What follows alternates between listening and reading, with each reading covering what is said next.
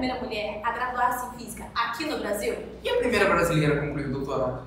Hoje, no nosso canal, vamos conhecer cinco pioneiras da física aqui no Brasil. Eu sou o Pedro Eu sou a Ana Júlia. e esse é o canal Scientific, A ciência do nosso jeito.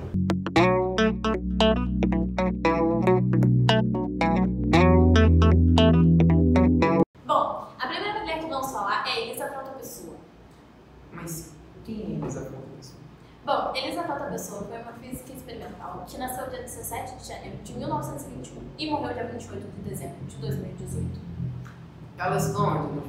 Bom, ela estudou na Faculdade de Filosofia da Universidade do Brasil, que hoje em dia é a Universidade Federal do Rio de Janeiro.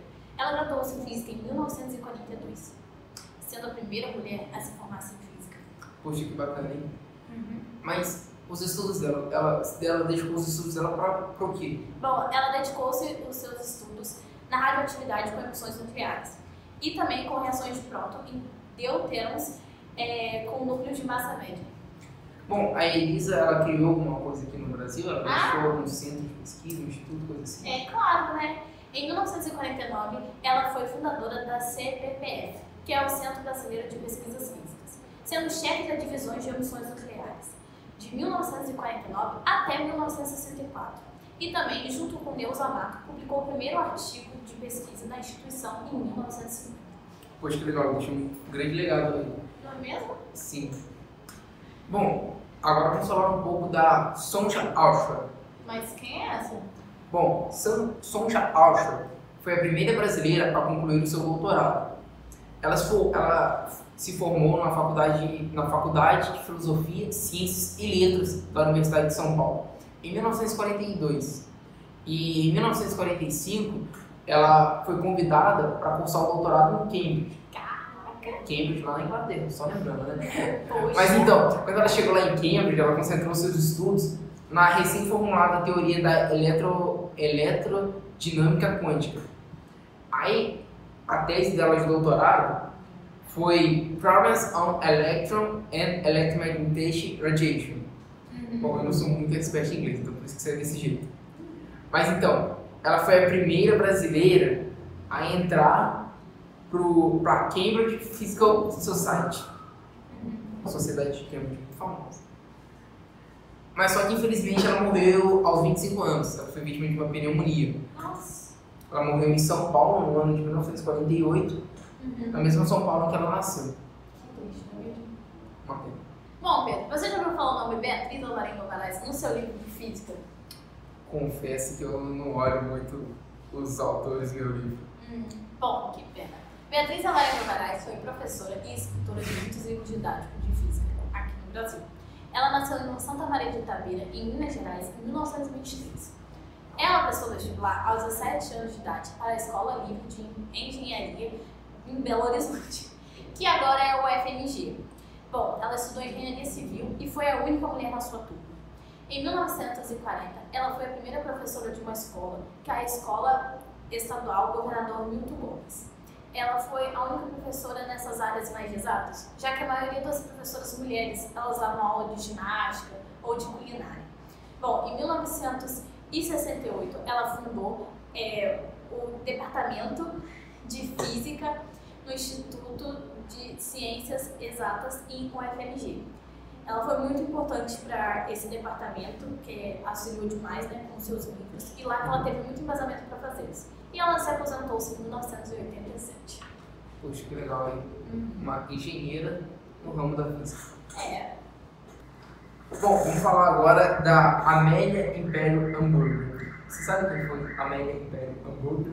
uma mulher que tinha muita lanchonete. Não, não tem nada a ver com isso. Ela foi uma professora, foi uma física professora, pesquisadora e uma grande divulgadora da ciência brasileira.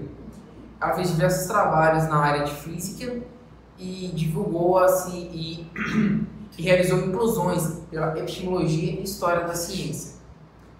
Bom, ela foi graduada em física em 1954 pela então Faculdade de Filosofia, Ciências e Letras de São Paulo.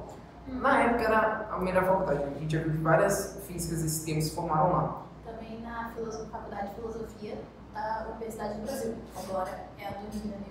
Sim. O grande diferencial da Amélia foi que em 1960 ela concluiu seu mestrado na Universidade de Pittsburgh, nos Estados Unidos. Bom, e durante o mestrado, ela publicou, em coautoria com W. E. Moore e John N. McCurry, um artigo científico para o primeiro número da Physical Review Letters, que saiu em 1958.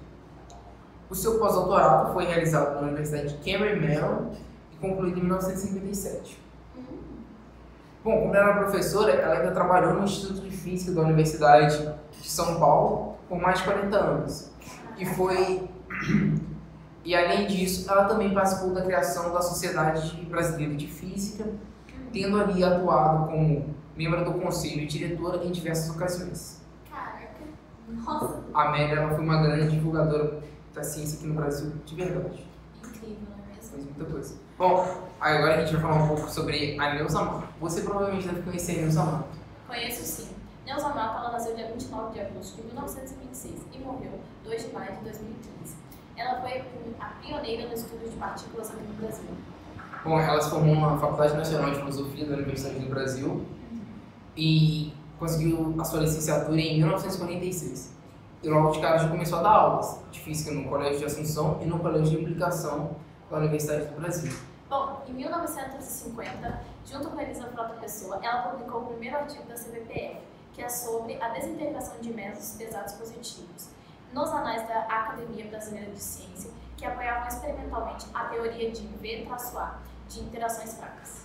A Newton também dedicou os seus estudos nos raios cósmicos de altas energias, durante toda a sua carreira no CBPF, que foi de 1950 a 1996.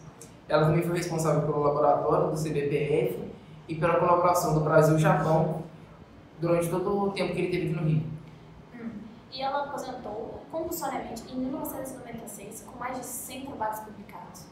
Bom, esse foi o vídeo de hoje. Espero que vocês tenham gostado um pouco de saber sobre as pioneiras da física aqui no Brasil. E até a próxima. Se inscreva, deixe o like e tchau!